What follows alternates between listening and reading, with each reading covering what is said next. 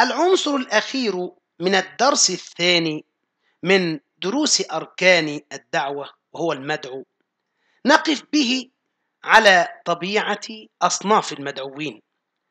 المدعوون أصناف طبقات أوضاع اتجاهات. ونستطيع تقسيمهم إلى صنفين أساسيين. الصنف الأول هم المسلمون. المسلمون أو المؤمنون. الإيمان أمر قلبي والإسلام أمر ظاهري.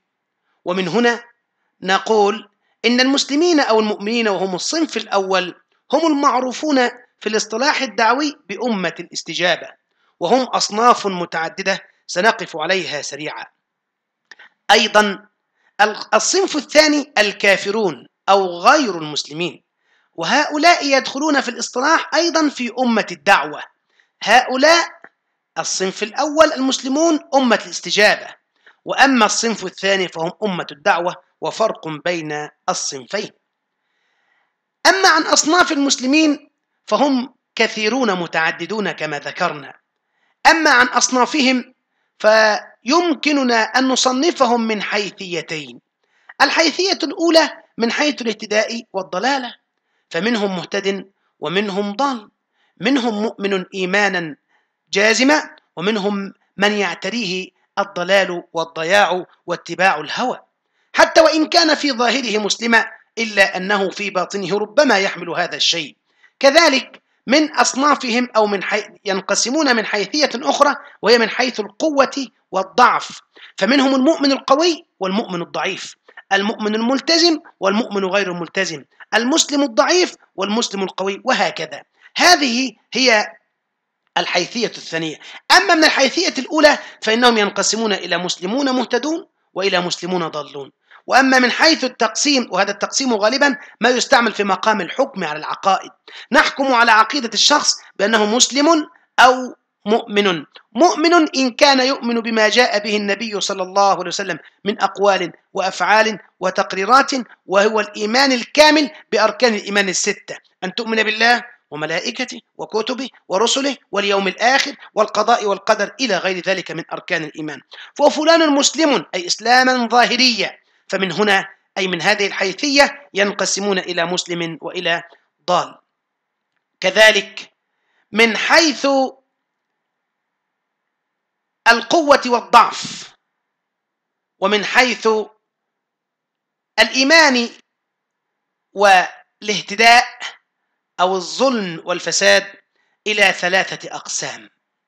أولهم مؤمن سابق بالخيرات وهو التقي الصالح.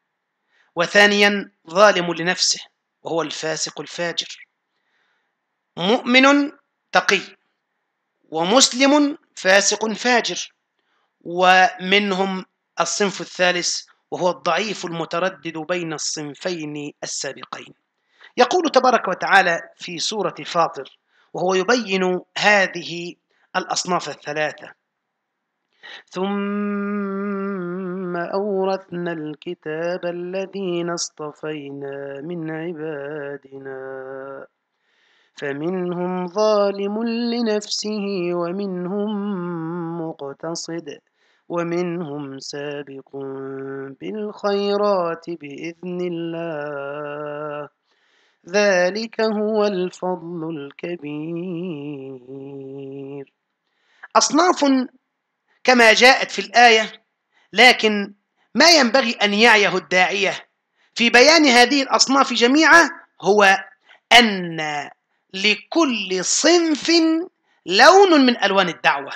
إن دعوة كل صنف من هذه الأصناف كل بحسب حاله وموقعه من الاستجابة للحق والالتزام به أو التردد بينهما جميعا. وهذا ما ينبغي أن يعيه الدعاة كما قلنا سلفا من شرحنا وبياننا لأصناف المدعوين. أما عن أصناف الكافرين فيمكن تصنيفهم كذلك إلى غير مسلمين وهم الجاحدون الملحدون. وهم في كل زمان ومكان مثل ما كانوا في زمن النبوة وحتى عصرنا الحديث. وأيضا منهم المشركون الوثنيون الذين لا يعترفون إلا بالمادة ولا يؤمنون إلا بالأحجار إلى غير ذلك من صنوف الإشراك. وأيضا منهم أهل الكتاب وهم الذين يعتمدون على ما لديهم من كتب محرفة مبدلة كما حكاها القرآن. وأخيرا من أصناف الكافرين المنافقون وهم الذين يبطنون خلاف ما يضمرون.